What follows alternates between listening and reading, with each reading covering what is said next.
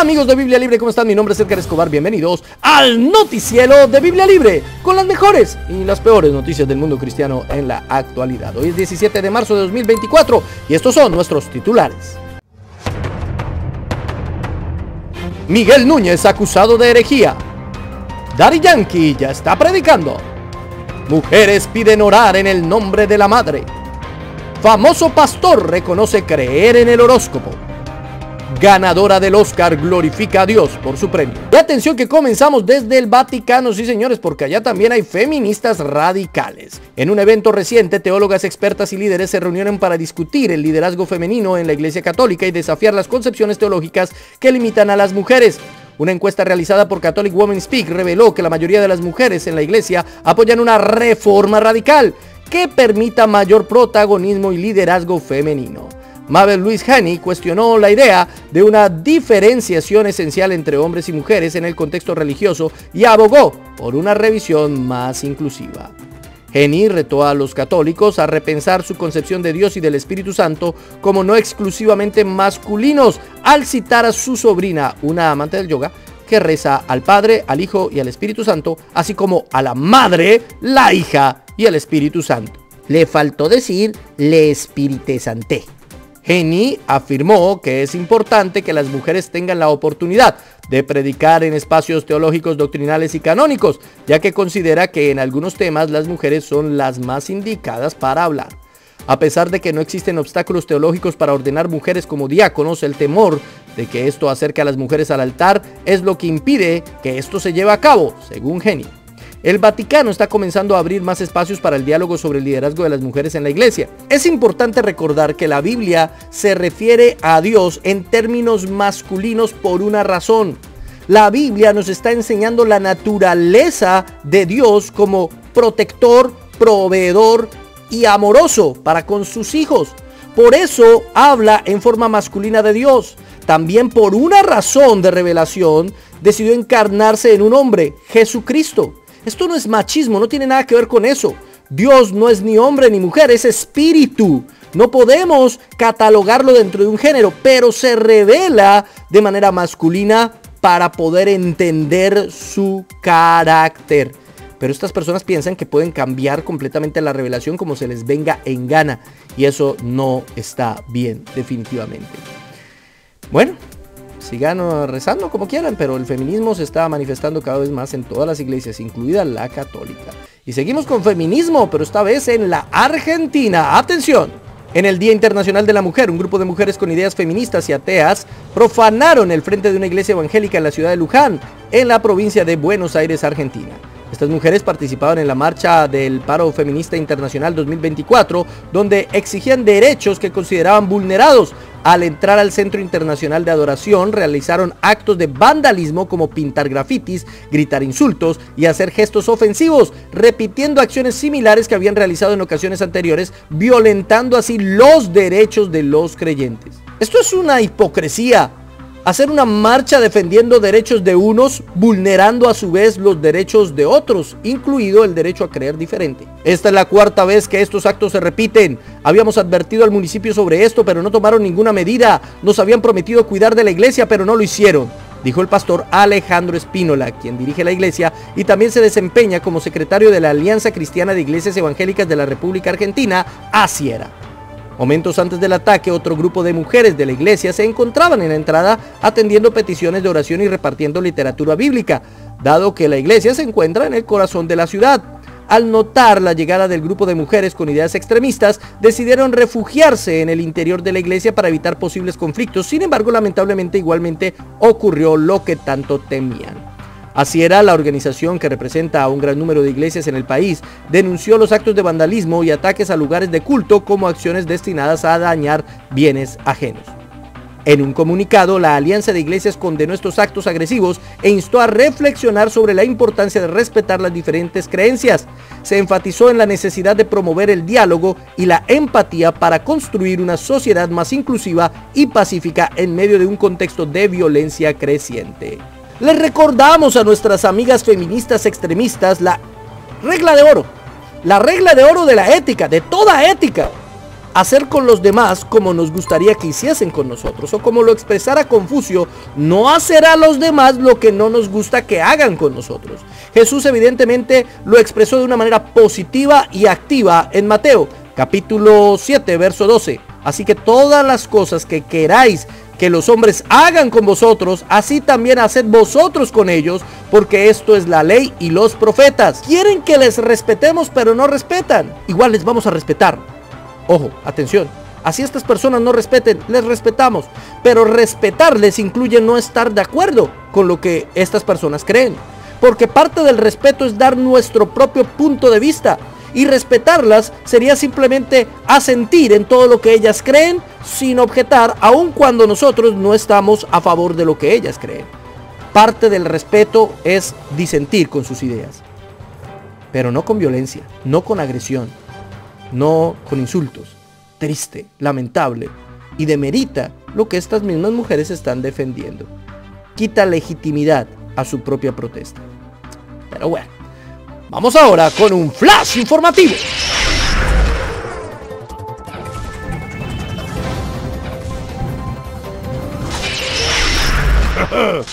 Gracias, Flash. Gracias. Y atención, porque pareciera que Daddy Yankee está ya predicando. Sí, señores, ¿será que está predicando? Atención. A través de Instagram, Raymond Ayala, más conocido como Daddy Yankee, publicó un extracto de una palabra que compartió en una iglesia boricua meses después de haber hecho pública su conversión a Cristo, en la cual detalla sobre cómo vio la misericordia del Señor a pesar de haberse creído que no la necesitaba. El ex cantante urbano se mostró a sí mismo como ejemplo sobre cómo llegar lejos creyéndose autosuficiente, al confiar en talentos y habilidades que reconocía que Dios le había dado, pero que no las estaba usando para el propósito por el que le fueron dadas. Escuchemos parte del mensaje de Dari Yankee llegaba hasta el cielo, yo dije, yo voy para encima, a mí no me detiene nadie. Yo estaba como los de Babel, creando mi torre. Y yo dije, no me para nadie. No me va a parar nadie. Ayala con su éxito creyó para sí mismo que era imparable y que con su disciplina y constancia lograría todo sin necesitar a Dios. Hasta que un revés le hizo reflexionar sobre el propósito para el cual estaba viviendo, al cual llamó un verdugo. Explicó que muchas veces estuvo debatiéndose entre la vida y la muerte tras haberse visto envuelto en tiroteos y ataques directos hacia su persona con armas de gran calibre, pero testifica que aún estando cerca del ángel de la muerte, Dios lo salvó en todas esas ocasiones. Contó además que vio a muchos de sus amigos morir y que él mismo estuvo luchando por su vida desde la camilla de un hospital y que en esos momentos le hizo una promesa a Dios, la cual está cumpliendo en la actualidad por lo que ahora este momento que está viviendo es el cumplimiento de esa promesa gracias a la misericordia del Señor, que aún habiendo explorado y vivido en la cúspide del éxito, se dio cuenta de que nada tiene sentido si Dios no está en el primer lugar.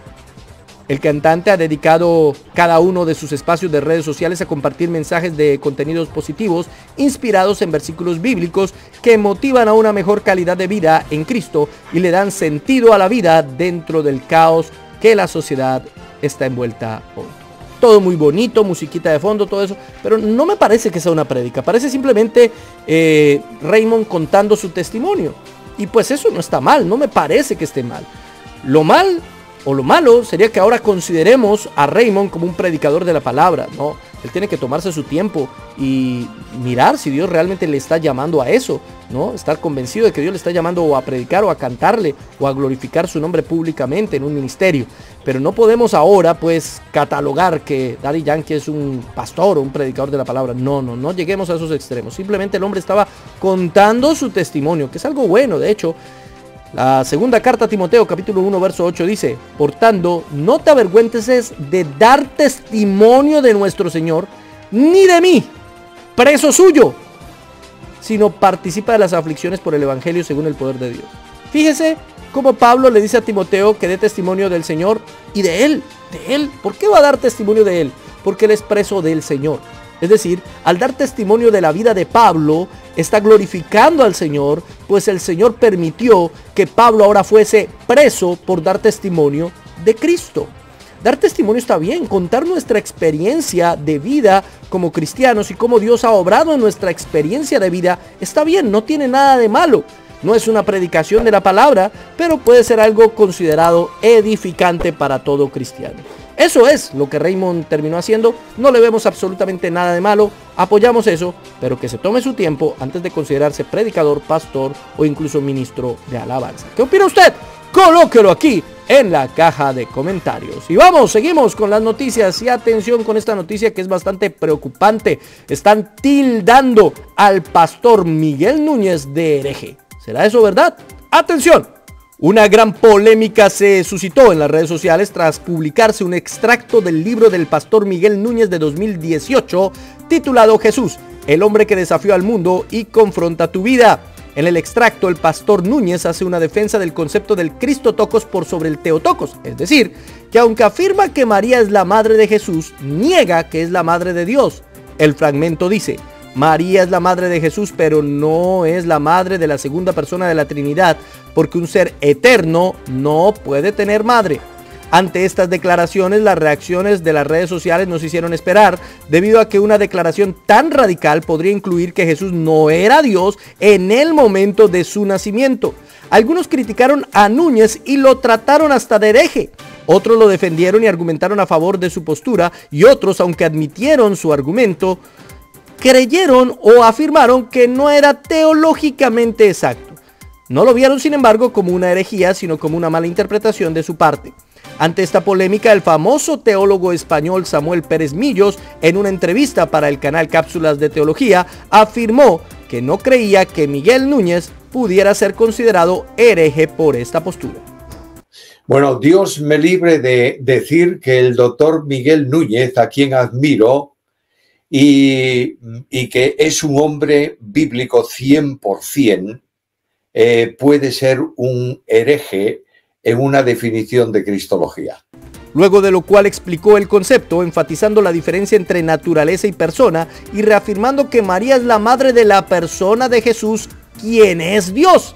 Pero eso no implica que sea la madre de la naturaleza divina de Jesús. Finalmente realizó un llamado a no juzgar a un hermano a la ligera. Bueno, yo le diría a toda persona que califica a un hermano que tenga mucho cuidado con no juzgar. Está prohibido. Y para acusar a alguien de algo hay que demostrarlo. Y tendría que demostrarse es así porque suscribe esto. Pero todo lo que yo he leído del doctor Núñez no puede ser más bíblico ni más consonante con la doctrina bíblica. Podremos estar de acuerdo en ciertas doctrinas generales o no, pero nunca en doctrina fundamental y mucho menos en cristología. Y es que no se trata de que consideremos que Miguel Núñez no es hereje porque lo dijo Samuel Pérez Millos, no. Se trata de entrar en razón bajo la lógica y el argumento que Pérez Millos está exponiendo. Es decir, aunque pueda haber un problema de interpretación del lenguaje aquí, aunque podemos mirar eh, que tal vez Miguel Núñez no utilizó correctamente ciertos conceptos en su libro, eso no implica que sea un hereje. Porque finalmente, a la hora de la verdad, Miguel está expresando algo correcto efectivamente María no es madre de la naturaleza divina de Jesús, aunque es madre de Jesús, quien en sí mismo es Dios. Aquí hay un tecnicismo del lenguaje. Si usted quiere saber más sobre este asunto, le invito a que vea nuestro video sobre el Teotocos, que es una polémica que ha llevado ya años dentro del cristianismo y que exponemos nosotros aquí en este lugar. Y que creemos que no puede hacer que alguien sea considerado como hereje.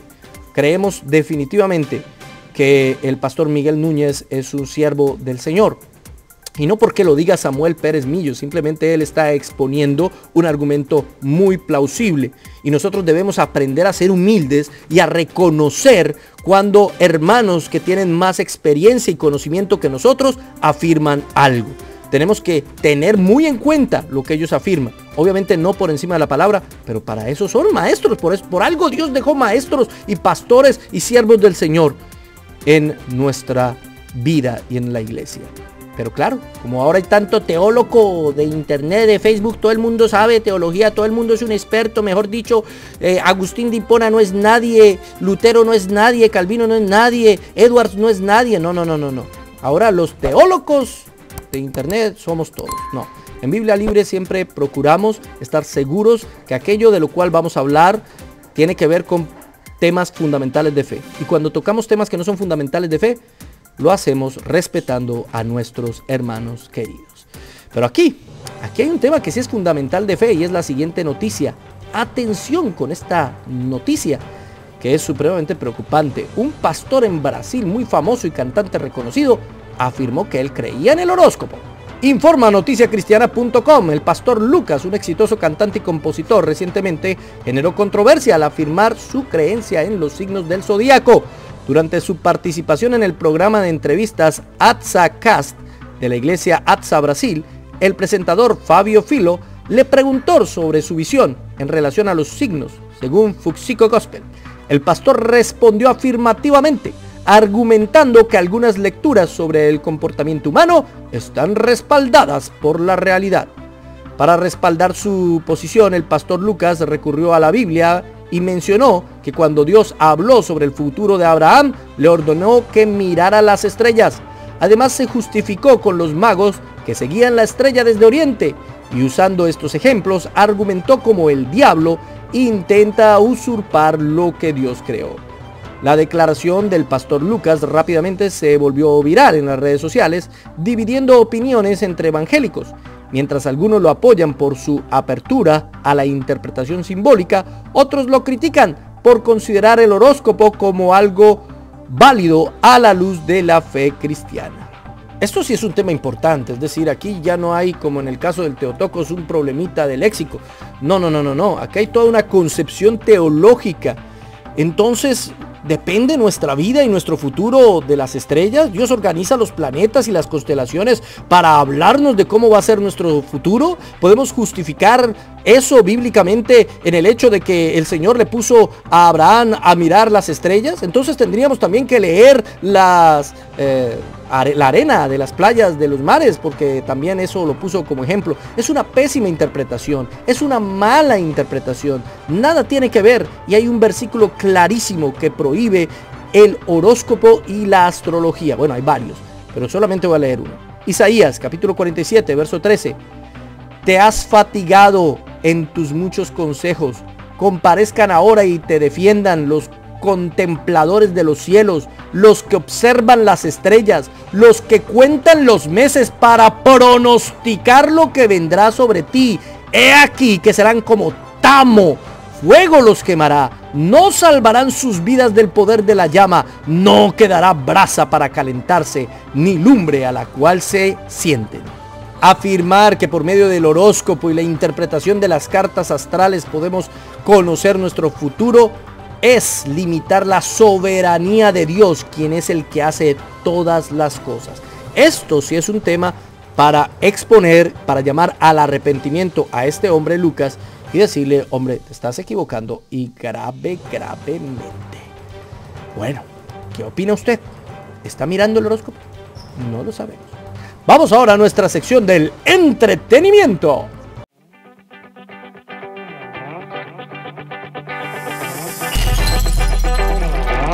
Y acaban de pasar los premios Oscar, los premios eh, de la Academia, muy publicitados como siempre. Pero en medio de eso, en medio de toda la oscuridad que se ve en Hollywood, vimos un poquito de luz. Atención, los premios de la Academia, al igual que muchos eventos de Hollywood, no suelen destacarse por sus referencias a Dios. Sin embargo, en la entrega de los premios del domingo por la noche, hubo una actriz que aprovechó su tiempo en el escenario principal para alabar al Señor. David Joy Rudolph, quien recibió su premio Oscar por su papel secundario en The Holdovers, una película festiva que se estrenó alrededor del Día de Acción de Gracias del año pasado, comenzó su discurso de agradecimiento diciendo, Dios es tan bueno, Dios es muy bueno. Pero mire la cara de las personas y los aplausos cuando ella dijo eso. And I thank you. I thank you for seeing me. Ron Van Loo, I thank you Ah, no, pero hubiera sido John Cena desnudo, ahí sí aplauden hasta más no poder, ¿no? Para Radolf, de 37 años, su madre fue quien le impulsó a descubrir la actuación, algo por lo que está siempre agradecida. La actriz en ascenso cerró su breve discurso con la esperanza de poder tener la oportunidad de repetir la experiencia en el futuro, pidiendo al Señor que le brinde esa posibilidad. Aunque la actriz ha demostrado creer en Dios, no ha confesado públicamente tener una creencia establecida. Sin embargo, Dios puede hacer un milagro en su corazón y en otros más dentro de la industria de Hollywood. Qué bueno, por lo menos, por lo menos se escuchó el nombre del Señor. Qué bueno que hubiesen actores, actrices que proclamen el nombre del Señor y que sean reconocidos. Sin embargo, este tipo de premios generalmente es más un premio a su propio ego, ni siquiera las mejores actuaciones. Generalmente ganan grandes premios, no necesariamente los mejores actores o actrices, sino más bien los que hagan las cosas más polémicas y sean los más inclusivos y todo ese asunto. Eso es lo único que a ellos les interesa. Pero bueno, Así quedamos en las noticias en el día de hoy. ¿Qué opina usted? Colóquelo aquí en la caja de comentarios. Muchas gracias por acompañarnos y síganos la próxima semana en el noticiero de Biblia Libre. Ahora que me pongo a pensar, Quique, ¿y si hiciéramos los premios Oscar al mejor actor y nomináramos a algunos pastores? Hmm. Por ejemplo, ¿quién sería el mejor actor? Yo nominaría a Guille por sus lágrimas.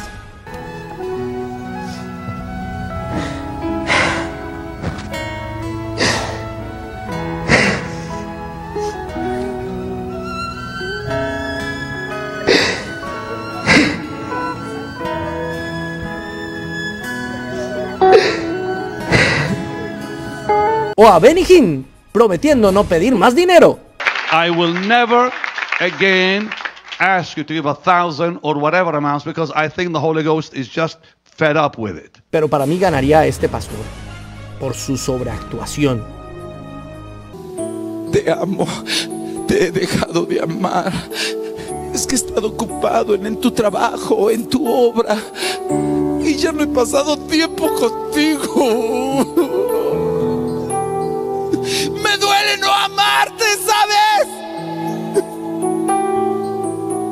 Aunque a decir verdad, aquí que yo como que le creo. No es actuación, ¿eh? De verdad lo sintió. O si no, merece el Oscar.